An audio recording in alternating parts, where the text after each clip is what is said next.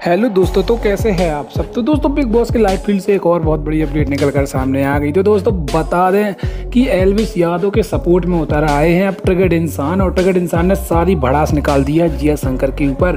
तो जी हाँ दोस्तों, बता दें टास्क के दौरान कुछ ऐसा हुआ कि एलविस यादव को पानी में साबुन मिलाकर पिला दिया जिया शंकर ने। तो ऐसे में ट्रिगर्ड इंसान ने ट्वीट कर गुस्सा दिखाया और दोस्तों, उन्होंने ट्वीट में कि बताया उन्होंने लिख दिया कि क्या बिग बॉस ने पुनीत सुपर स्टार को अपने ऊपर शैम्पू डालने में घर से बाहर निकाल दिया था।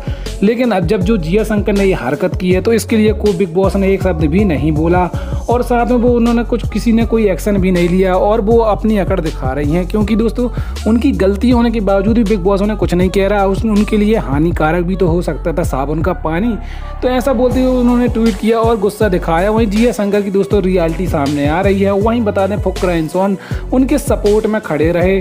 लेकिन क्या बोले, फुकरा इंसान ने उनका सपोर्ट तो किया, लेकिन साबुन का पानी उन्होंने पिलाया, जिस वजह से दोस्तों अब जिया शंकर, इतनी उनकी रियलिटी दिख गई है सबको उनके सामने।